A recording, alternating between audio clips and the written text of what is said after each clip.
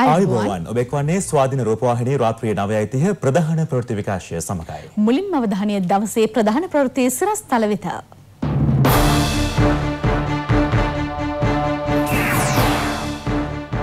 ජාත්‍යන්තරයට ගිය පාහියංගන ආදිමානවයා. කොරුණා සබයේ බෝග වගාවෙන් හම්බන්තොටට මිලියන දෙසිය හැට හයක්. රනිල් ගංගාරාමයෙන් වැඩ අරඹයි. රජයේ රෝහලක පළමු සහන සත්කාර මධ්‍යස්ථානය ජනතා අයිතියට. දේශීය ප්‍රවෘත්ති ලබන විසි දෙවනදා සිට අධියර කිහිපයක් යටතේ විශ්වවිද්‍යාල ආරම්භ කිරීම සඳහා අවස්ථාව සැලසෙන බව අමාත්‍ය ආචාර්ය බන්දුල ගුණවර්ධන මහතා පවසනවා. ප්‍රති දෙපාර්තමේන්තුවේ අද පැවති මාධ්‍ය හමුවකට එක්කමිනුයි අමාත්‍යවරයා මේ බව ප්‍රකාශ කළේ.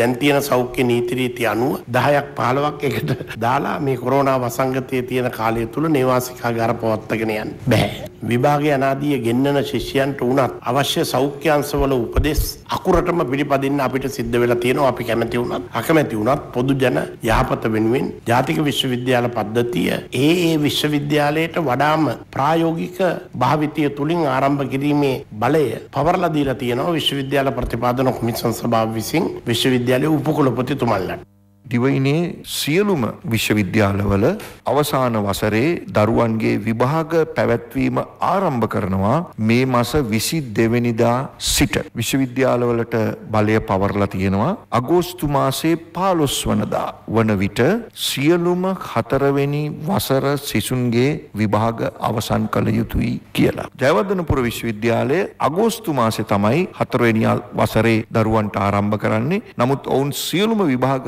අවසන් අවසාන කරනවා අගෝස්තු මාසේ 15 වනදා වන විට. නේවාසිකාගාරයක එක කාමරයක එක දරුවෙක් බැගින් සිටින ආකාරයට තමයි මේ හතරවෙනි අවුරුද්දේ විභාග පවත්වගෙන යන්න බලාපොරොත්තු වෙන්නේ. සියලුම වෛද්‍ය පීඨ Tamanගේ අවසන් වසර වෛද්‍ය උපාධි පරීක්ෂණ 20යි 20 6වෙනි මාසේ 15 වෙනි දින සිට ආරම්භ වෙනවා. පශ්චාත් උපාධි පරිේශන සිසුන් සෞඛ්‍ය මාර්ගෝපදේශ අනුව තම අධ්‍යයන කටයුතු පවත්වාගෙන යා හැකියි. එම නිසා සියලුම පරිපාලන නිලධාරීන් ලබන සඳුදා සිට තමන්ගේ සේවා ස්ථානවලට වාර්තා කළ යුතුද වෙනවා. ආදී මානවයා පිළිබඳ පැරණිතම සාක්ෂි බුලත් සිංහල පාහියන්ගල ලෙනෙන් හමු වී ඇති බව ජාත්‍යන්තර මාධ්‍ය වාර්තා කළා. අප්‍රිකාවෙන් පිටත ප්‍රදේශයකදී ආදි මානවයා දුනු ඊතල භාවිත කළ බව තහවුරු කළ හැකි පැරණිම සාක්ෂි කිහිපයකුයි මෙම පරීක්ෂණවලින් හමු වී තිබෙන්නේ. මීට වසර හතලිස් අටදහසකට පෙර රට ජීවත් වූ ආදි මානවයන් සත්ව ඇටකටුවලින් සකස් කළ මෙවලමක් උපයෝගී කර ගනිමින් දඩයම් සිදුකර ඇති බවට මෙම පරීක්ෂණවලදී හෙළි වී තිබෙනවා. ජාත්‍යන්තර පර්යේෂණ කණ්ඩායමක් සමග ශ්‍රී ලාංකික පර්යේෂකයන් පිරිසකුයි මෙම සොයා ගැනීම සිදු කර තිබෙන්නේ.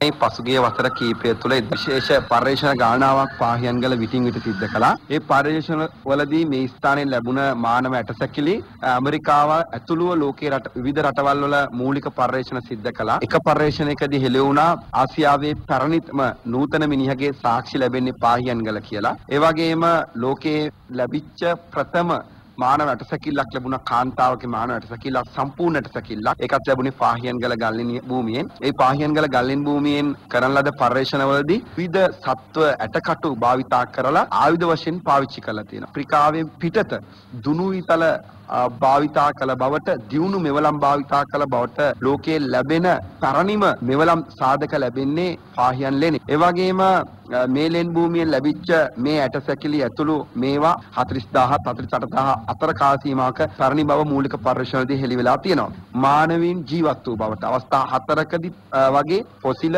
සහ ඔවුන් භාවිතා කළ ඇටසැකිලි ඔවුන් භාවිතා කළ ගල් ආයුධ මෙවලම් අවස්ථා හතරක ස්තර හතරකදී ලැබෙනවා. දඩුලේන්නන් වදුරන් වැනි සත්තු ඉතාමත්ම වේගෙන් යන සත්තු පවා දඩයම් කිරීමට දියුණු තාක්ෂණික ක්‍රම මොවුන් මේ ඇටසැකිලි සහ ගල් ආයුධ උපයෝගී කරගෙන භාවිතා කළ බවට සාධක ලැබෙනවා. ඉතාත්ම සුවිශේෂී පර්යේෂණ කීපයකින් පසු තමයි මේ සාධක ලැබෙන්නේ. ක්‍රිකට් රටක පිටදී ලැබෙන ලෝකේ පැරණිම දියුණු මානව ක්‍රියාකාරකම් වාර්තාව වෙන්නේ ලංකාවේ පාහියන් ලෙනින් කියන බවයි අ, දැනට ඔප්පු වෙලා තියෙන්නේ. කොරෝනා වෛරසය ආසාදනය වී සිටි 56 දෙනෙකු පසුගිය පැය 24 තුළ පූර්ණ සුවය ලබා රෝහල් වලින් පිටව ගිය බව වසංගත රෝග විද්‍යාංශය පවසනවා. අද දිනේ කොරෝනා රෝගීන් හතර දෙනෙකු වාර්තා වුණා. ඉන් එක අයෙකු නාවික හමුදා සමාජිකයෙකු වන අතර සෙසු තුන් දෙනා විදෙස්ගතව සිට මෙරටට පැමිණි පුද්ගලයින් බව සෞඛ්‍ය අංශය ප්‍රකාශ කළා.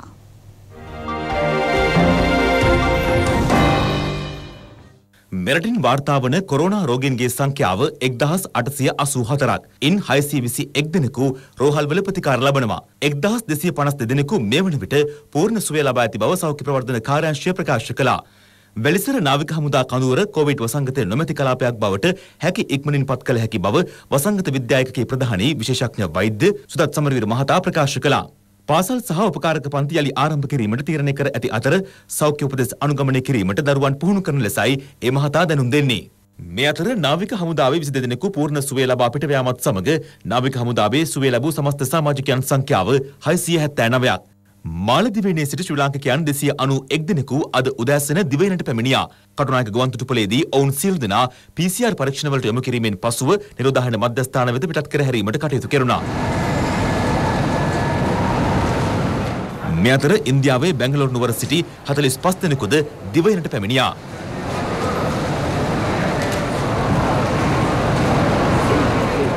කොරෝනා වෛරසය ආසාදනය වූවෙකුට ලොව ප්‍රථම දිත්ව පෙනහළු බද්ධය සාර්ථකව සිදු කිරීමට ඇමරිකාවේ වෛද්‍යවරුන් පිරිසක් සමත් වුණා. රෝගියා වයස 20ක පමණ කාන්තාවක් බවයි රෝහල් ආරංචි මාර්ග සඳහන් කරන්නේ. කෙසේ වුවද ඇයගේ පෙනහළු දෙකම අක්‍රිය තත්ත්වයේ තිබුණද සැත්කමට භාජනය කිරීමට කොරෝනා වෛරසයෙන් සම්පූර්ණයෙන් සුවය ලබන තෙක් සිටීමට සිදු වූ බවයි වෛද්‍යවරුන් පවසන්නේ. මෙවන විට ඇය චිකාගෝ නුවර පිහිටි රෝහලක දැඩි සත්කාර ඒකකයේ ප්‍රතිකාර ලබනවා. COVID-19 හෙවත් නව්‍ය කොරෝනා වෛරසය මේ වන විට ලොව පුරා 77 ලක්ෂ 75661 දෙනෙකුට ආසාදනය වී තිබෙනවා. සුවය ලබා ඇති රෝගීන් සංඛ්‍යාව 39 ලක්ෂ 87344ක්. වෛරසය ආසාදනය වීමෙන් මරණ 4 ලක්ෂ 28970ක් වාර්තා වනවා. රටවල් හා ස්වයන් පාලන ප්‍රදේශ 213ක වෛරසය ව්‍යාප්ත වී ඇති බවයි ලෝක සෞඛ්‍ය සංවිධානය පවසන්නේ. වෛරසය පාලනය කිරීමට ඉතාලි රජයේ මැදිහත් වීම දැඩි විවේචනයට ලක්වීමත් සමග එරට අග්‍රාමාත්‍යවරයා පැය තුනකට අධික කාලයක් ප්‍රශ්න කිරීමට ලක්ව තිබෙනවා. උතුරු ඉතාලියේ වෛරසය වේගෙන් පැතිර යාම හේතුවෙනුයි අග්‍රාමාත්‍යවරයා මෙලෙස ප්‍රශ්න කිරීමට ලක්ව ඇත්තේ. ඒත් මෙය අපරාධ පරීක්ෂණයක් නොවන බව එරට නීති දෙපාර්තමේන්තුව නිවේදනය කළා. වෛරසය හේතුවෙන් එරටින් වාර්තා වන කොරෝනා මරණ සංඛ්‍යාව 34000 ඉක්මවා තිබෙනවා. තමාට නව්‍ය කොරෝනා වෛරසය ආසාදනය වී ඇති බව හිටපු පාකිස්තාන ක්‍රිකට් නායක ෂයිඩ් අෆ්රිඩි නිවේදනය කරනවා. ට්විටර් පණිවිඩයක් නිකුත් කරමිනුයි ඔහු මේ බව ප්‍රකාශ කර තිබෙන්නේ. ඒ අනුව කොරෝනා වෛරසය ආසාදනය වූ ප්‍රථම ක්‍රිකට් ක්‍රීඩකයා වන්නේ ඔහුයි. බ්‍රසීලයේ කොරෝනා වෛරස ව්‍යාප්තිය දේශපාලනඥයන් තම වාසි වෙනුවෙන් භාවිත කරන බව විදෙස් මාධ්‍ය සඳහන් කරනවා. ජනාධිපතිවරයා වෛරස තත්ත්වය සුළු කොට තැකීම වෛරසය වේගයෙන් ව්‍යාප්ත වීමට හේතු වී තිබෙන බවයි ඔවුන් පවසන්නේ. මෙවන විට එරටින් වාර්තා වන කොරෝනා මරණ සංඛ්‍යාව 41000 ඉක්මවා ඇත්තේ ආසදිතයන් සංඛ්‍යාව 830000කට ආසන්න වීමත් සමගයි. බීජිං නගරයෙන් දෙවන දිනටත් කොරෝනා වෛරසය ආසාදනය වූවෙකු හමුවීමත් සමග තොග වෙළඳ සැල් වසා දැමීමට බලධාරීන් පියවරගෙන තිබෙනවා. නගරය තුල පිහිටුවා ඇති පාසල්ද වසා තමා ඇති බවයි වාර්තා වන්නේ. වාර්තා වූ නව ආසදිතයන් දෙදෙනා ගමන්ගත් ස්ථාන සහ ඇසුරු කළ පුද්ගලයන් නිරෝධායනට ලක් කිරීමට පියවරගෙන තිබෙනවා. පේරු රාජ්‍යයෙන් වාර්තා වන කොරෝනා ආසදිතයන් සංඛ්‍යාව දෙලක්ෂ විසිදහස් ඉක්මවා ඇති බවයි එරට සෞඛ්‍යාංශ නිවේදනය කරන්නේ. බ්‍රසීලයට පසු ලතින් ඇමරිකානු කලාපයෙන් වැඩිම ආසදිතයන් සංඛ්‍යාවක් වාර්තා වන රට ලෙස පේරු රාජ්‍ය සැලකිය හැකියි. PCR පරීක්ෂණ මිලියන 1.3ක් පමණ මෙවන විට සිදු කර ඇති අතර ඒ හේතුවෙන් ආසදිතයන් වැඩියෙන් වාර්තා වන බවයි බලධාරීන් සඳහන් කරන්නේ. කොරෝනා වෛරසයට එරෙහිව නිපදවන ඕනෑම එන්නතක් ලෝකයේ සියලු දෙනාට ලබා ගැනීමට හැකියාව තිබිය යුතු බව ලෝක සෞඛ්‍ය සංවිධානය නිවේදනය කරනවා. එම නිෂ්පාදන දේශපාලනීකරණය වීම තුළින් ලොව දුප්පත් රටවල් අන්ත අසරණ තත්ත්වයකට පත්විය හැකි බවයි එම සංවිධානය තවදුරටත් පවසන්නේ. ලොව බලවත් රටවල් ඒ පිළිබඳව තම අවධානය යොමු කළ යුතු බවයි එම සංවිධානය නිවේදනය කරන්නේ.